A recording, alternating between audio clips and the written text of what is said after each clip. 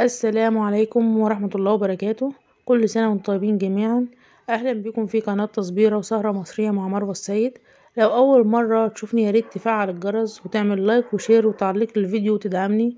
شكرا لكم لو لسه ما دمستوش الفول يا جماعة عندي طريقة سهلة جدا أنا بتبعها من زمان في تدميس الفول. لأن أنا أه بجيب الفول وبغسله كويس جدا. وبنقعه في المية. طريقتي يا جماعة ببساطة هي النقع طول الليل آه في الفول مع تغيير المية لأن المية الكتير بتعمل تشبع للفول وبالتالي هياخد سوا معاكوا قليل. أنا كيلو الفول ده آه خد معايا أقل من ساعة أو ساعة إلا خمس دقايق وكان استوى تماما لأن أنا كنت بغسله على طول باستمرار ونقعته وكل ساعتين ثلاثة أغير المية عليه لحد ما تشبع الفول تماما بالمية وكان نضيف جدا. طبعا أنا بغسل الفول وبنقعه في مية كتير وطبعا بكون منقياه من قبلها. وأي حاجة فول زايد على الوش تعرف اللي هو فاضي فبتشيليه. ما شاء الله الفول زي الفل أهوت.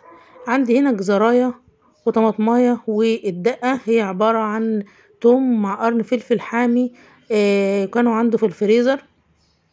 وطبعا بتصبي مية سخنة على الفول وطول ما هو الفول على النار يا جماعة لازما تزودي المية على طول باستمرار وتكون مية سخنة. ما شاء الله يا جماعة كمية الفول اهي كبيرة وده بعد ما استوى تماما وادى الجزر وما خدش مني يعني أقل من ساعة ادى الفول اهيت مستوية تماما. آه طبعا جبت أكياس عشان أحط فيها جبت كوباية وحطيت فيها كيس عشان أقدر آه أحط فيها. آه الفول بعد ما ضربته في الخلاط لأن إحنا بنحبه ناعم. وطبعا عشان الطماطم والحاجات اللي فيه تتضرب كلها هو مفيد جدا. وأحط كرنبين في كل كيس كرنبين كبار. وطبعا بخرج الهواء منها وأقفل الكيس وهنبدأ نحط كل الكمية كلها في الأكياس. يا رب الفيديو يكون عجبكم. يا ريت تدعموني وتصلوا على النبي. آه طبعا يا جماعة كمية الفول ديت عملت لي تسعة أكياس. آه الفول صحي جدا وما خدش مني وقت والله.